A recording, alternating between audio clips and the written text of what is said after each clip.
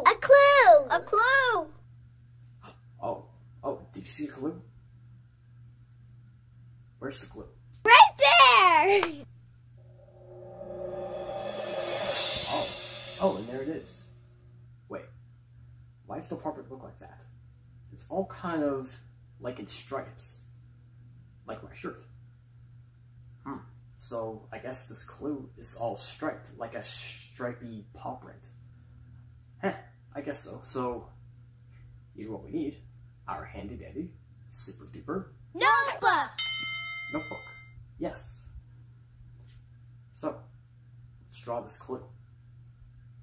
To draw a puppy, first we draw a P, a curved line for the U, another P, and another P, and then two little lines with a line at the bottom for the Y. Puppy. And we have this stripy print. Hmm.